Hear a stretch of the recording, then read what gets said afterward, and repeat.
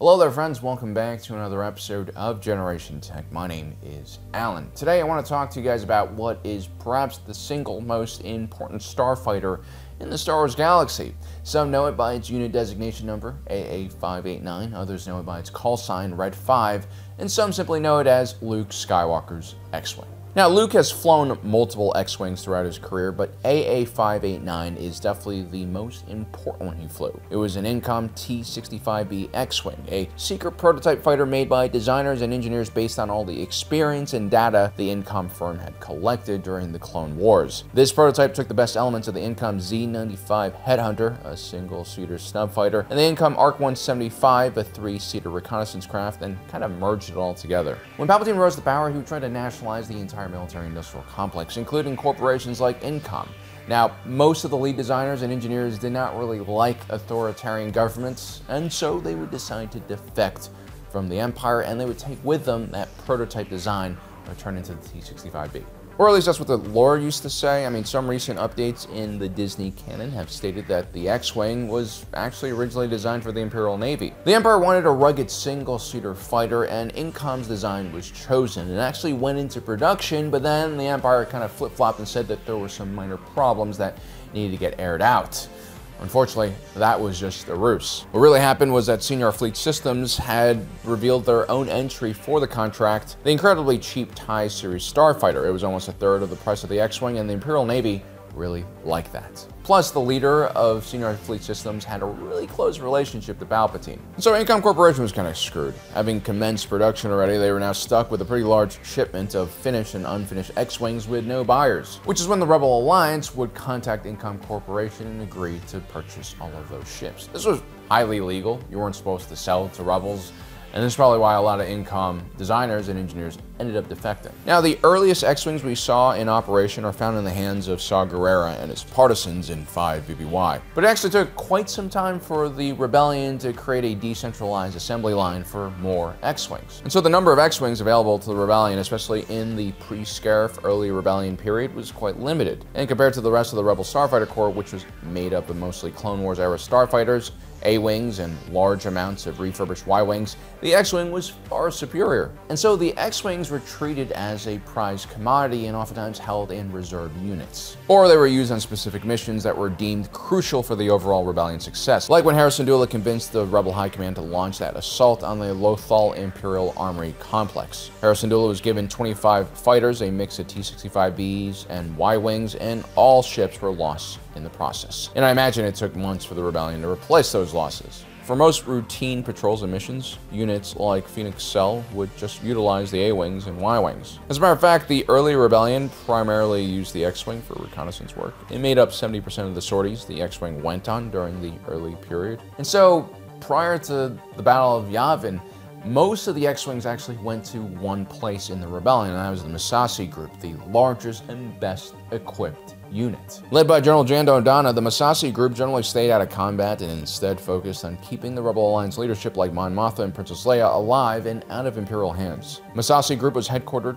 in the Great Temple on Yavin 4, and it was more or less one of the most permanent bases the early rebellion would use. I go as far to theorize that they probably set up some small-scale manufacturing of the X-Wings here. This is something that Bail Organa worked on extensively in the years following the rise of the Empire. He would use his diplomatic resources and cover to scout out new uninhabited worlds and turn them into safe worlds. These were places where rebel personnel could rest and relax, their families could hide here along with political dissidents. It was a place where the rebellion manufactured food, clothing, medicine, and weapons and everything else. The world of Crait, for instance, in episode 8 was an old safe world that Princess Leia remembered while her forces fled the First Order. Now, we're not exactly sure where Luke's AA-589 was built, but I'm going to say it's probably going to be built in one of the Rebels' decentralized factories rather than an Incom's factory in that initial purchase. Now, prior to Battle of Yavin, Red Squadron, the unit that Luke would fly with, was deployed to support the efforts of the Rogue One team on Scarif. Red Squadron survived the battle relatively intact because they were delegated to screening the Rebel fleet above the planet rather than supporting the ground team, like Blue Squadron, which was almost completely wiped out. During the battle, Pedrin Gaul, a former transport pilot, would be operating the call sign Red 5. Gaul would be killed by a TIE fighter during the battle, which is what leaves the vacancy for Luke.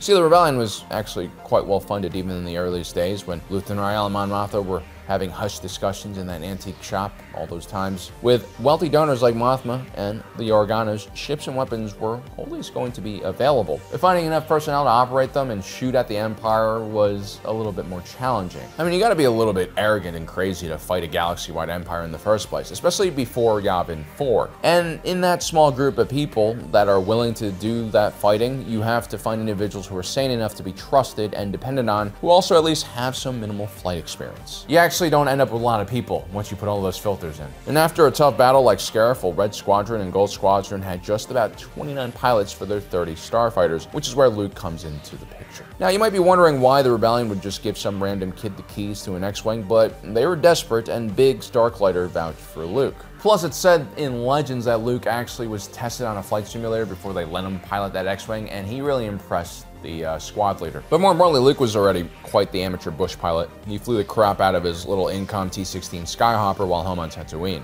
And here's the thing, people really love Incom because all of their products apparently fly in very similar ways, very similar control, uh, control schemes. If you can fly a T-16, learning how to pilot an X-Wing is relatively simple to learn and doesn't really require significant time in the simulator just like the Boeing 737 MAX. Anyway, my guess is going to be that AA-589 was a previously damaged X-Wing that was in for repairs during the Battle of Scarif and was only brought to active duty by the time the Battle of Yavin started. Lucas assigned leader of the fourth flight, with Biggs, Darklighter, and Wedge Antilles as his wingmen. There are only four flights in Red Squadron, and, you know, the fourth one is the last one. That's important. When the battle starts, the delayed deployments of TIE fighters allow Red Squadron and other pilots to get within striking distance of the surface of the station. But by the time Vader has launched his fighter squadron, Red Squadron starts taking a lot of losses. First, Red 4 John Brannon goes down.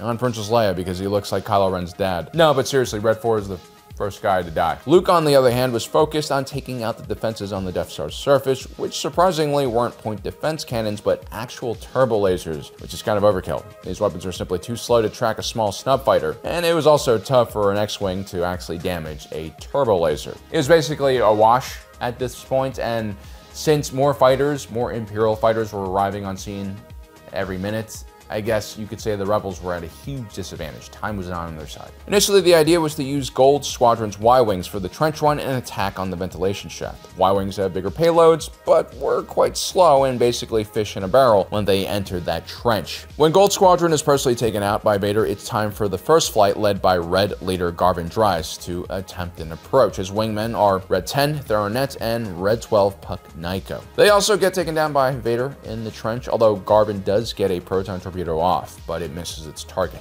The death of Garvin is actually really sad. Him and Antoc Merrick, Blue Leader, who also died heroically on Scarif, providing cover for Rogue One, basically established the entire Rebel Alliance Starfighter Corps. They're the ones who chose the T-65B X-Wing. They're the ones who develop all the doctrine and protocols for how to use a starfighter. And the X-Wing is a huge reason why the Rebellion was so successful in the first place. And Garvin and Merrick actually go way back. They fought in the same planetary defense force during the Clone Wars, and when the Empire Rose, uh, that planetary defense force was basically rolled into the Imperial Navy, and both of these guys defected. Anyway, the fact that Luke and his wingmen are in Flight 4 is probably what saved them. They're most likely delegated to just an overwatch position where they cover the uh, bombing runs and also try to suppress enemy anti-aircraft fire. And even so, Luke takes a glancing blow to one of his top engines while performing this duty, and R2-D2 suffers a bit of electrical damage as well. But an X-Wing can easily fly with one engine out. Heck, it could probably fly even with two engines out of four out.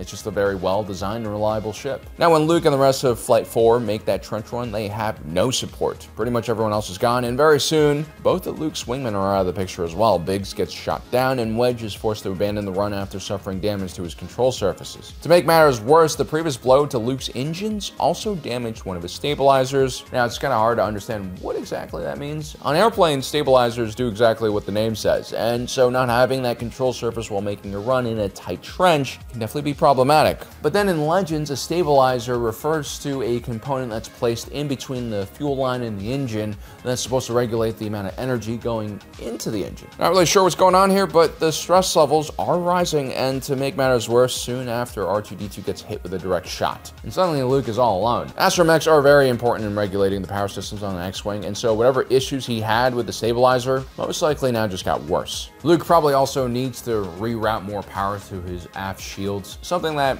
R2-D2 could have easily done. But he's gone. Luke's really not in a good situation, and things get even crazier when he gets rid of his targeting computer, but ultimately, Han Solo comes and saves the day and manages to take out Darth Vader's TIE fighter right as he's about to shoot Luke down. And moments later, the young Jedi launches that infamous proton torpedo that ends up killing more than a million Imperials. Honestly, after a fight like that, I would retire AA589.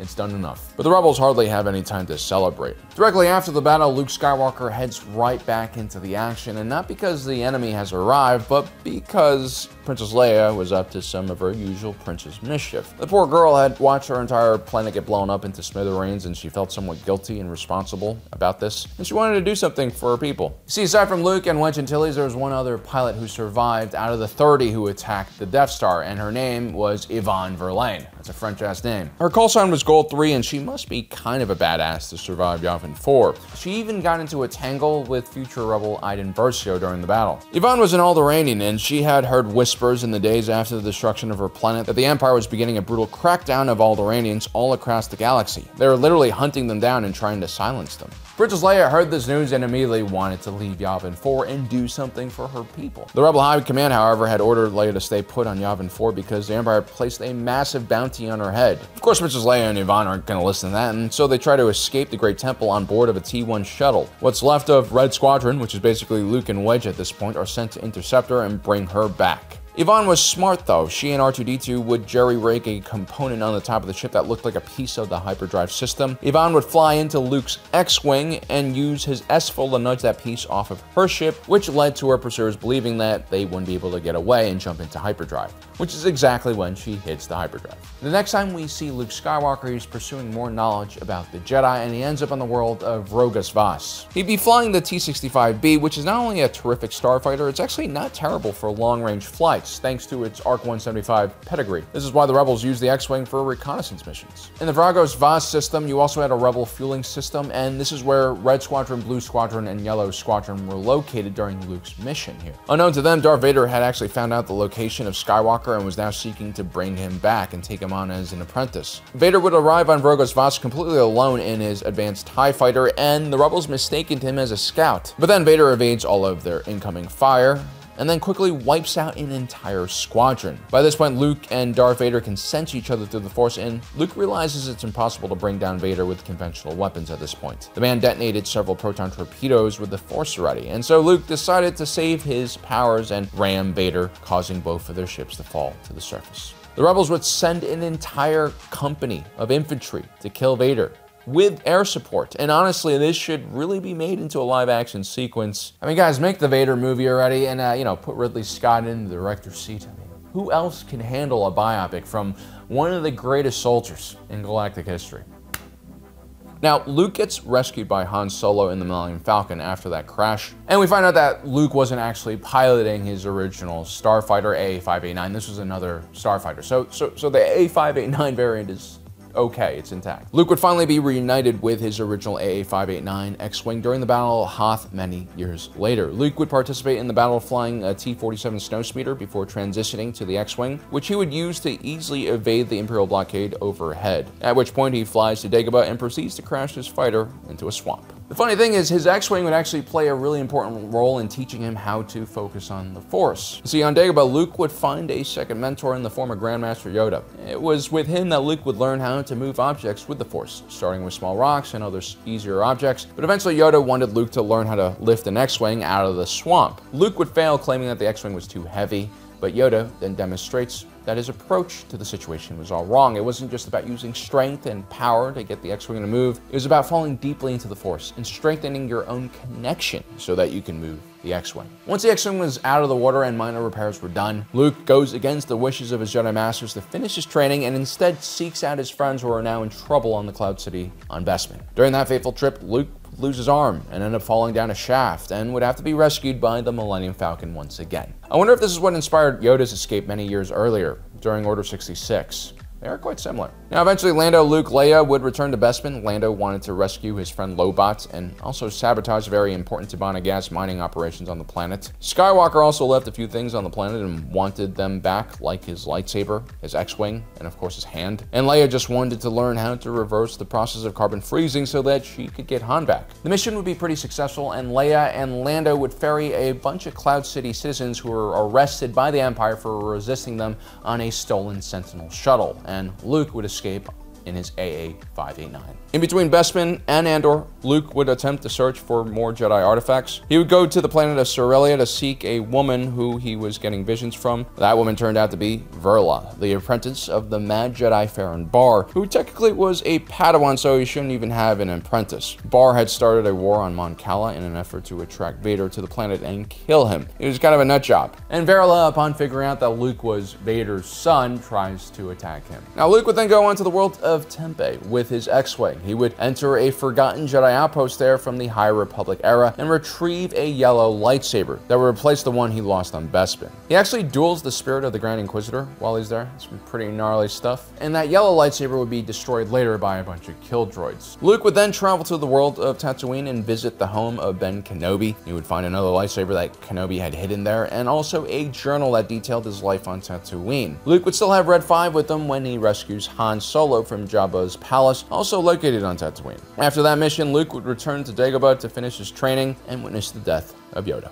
Now, following the Battle of Endor, which Luke mostly sat out, until the very end. Luke would fly his X-Wing to the planet of Pillio in search of more artifacts. He would run into future rebel Del Meeko on the world and also grab a Jedi Wayfinder, which would eventually transport him to the world of Ahch-To many years later. But before that happens, Luke starts his Jedi Temple and receives his first prospective student, young Gogurt. But when the little guy is forced to choose the Jedi way or remain with his adopted father, Din Djarin, Gogurt chooses the Mandalorian way. And Luke Skywalker has R2-D2 fly Red 5 and Gogurt back to Mandalore. Oh, it should also be mentioned that Luke had Red 5 when he boards Moff Gideon's ship and just murks everyone on there. That is a really cool sequence. After Luke screws up big time and gets his Jedi Temple destroyed by Kylo Ren, the Jedi Master goes into exile, this time on the world of Ahch-To, and he continues researching the first Jedi Temple there. A part of his exile includes taking his trusty X-Wing and then burying it underwater. I think it's a deliberate attempt to sabotage his fighter so he never has to leave the planet. But that should be where AA 589 meets its end. I mean, Luke even uses one of the S-foils as a door for his hut. But then Rey arrives on the planet looking for advice, and Luke decides to gift his old X-Wing to her. He brings the ship to the surface, and Rey spends a good amount of time repairing the ship. She even scavenges a shield paneling from a nearby TIE Whisper wreckage. Rey would pilot Red 5 to the Battle of Exegol, and it would deliver her safely to victory, just like it had so many times before with Luke Skywalker. And after the battle is over, despite all the destruction on Exegol and above, AA-589 survives and makes it back to the Rebel base. And even though it seems like Rey has inherited the Millennium Falcon, an equally worthy and famous starfighter, perhaps a bit more famous, but I'm sure she's still going to have an itch from time to time to get back into the cockpit of that X-Wing. I know there are T-70s and T-85 X-Wings out there by this time, but sometimes the classic designs, despite being slower, less safe, and less powerful, just are more enjoyable to fly. Just like Mustangs from the late 60s and the early 70s will always be my favorites. God, those things are beautiful. All right, see you next time, guys.